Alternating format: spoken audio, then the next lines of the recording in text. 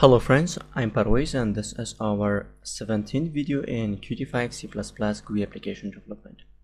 In the previous video, uh, we have learned how you can create a color dialog in uh, uh, Qt5 C++. This is from the previous example. Uh, in this video, I'm going to show you how you can create a file dialog in Qt5 C++. Uh, so I'm going to use my previous video. If you haven't watched, uh, I will add the link to the video description. You can watch that. Uh, from the previous video I have an open uh, so I'm going to uh, work on my open uh, and I want to open a file. So for this I want to use QFileDialog.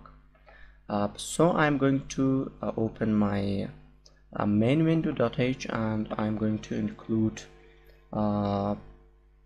qfile dialog in here like this and now open your main.cpp and first of all I'm going to open my main window and in the open right click and go to slot. Okay. Uh, now in here uh, we are going to create our file dialog.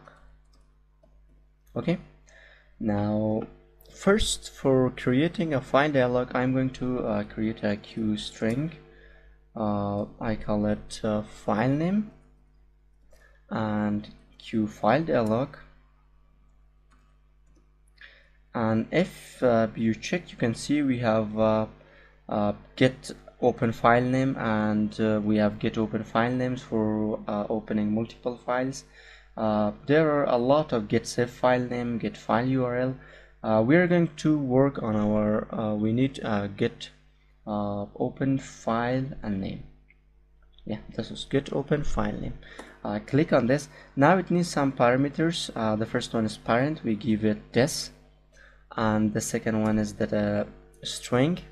And I'm going to write open a file.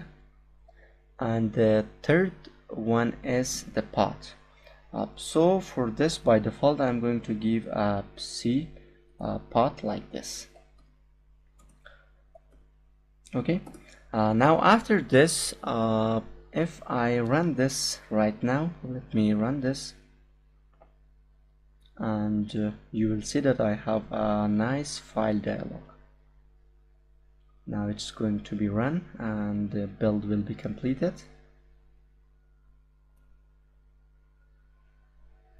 Uh, now I'm waiting for this. It will take uh, yeah uh, now it's completed and this is my application. If I click on open you can see now I have opened my uh, file dialog and you can see the default uh, the default directory is local C local disk C. Uh, okay now uh, I'm going to set my path in my this text edit. Uh, so for this uh, you can simply in here uh, you can simply write uh, UI uh, text edit uh, set text and add your file name in here. Okay. Uh, now if I run this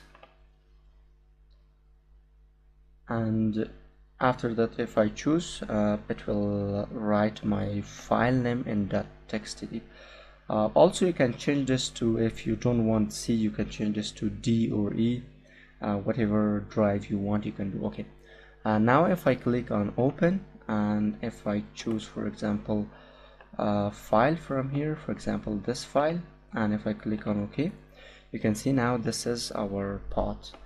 Uh, and you can change the color of the pot uh, like this and also you can make it uh, bold from here. Uh, let me make it bold uh, font.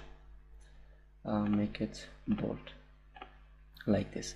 Uh, thank you guys. If you have any question please let me know. And for the further videos please subscribe to my channel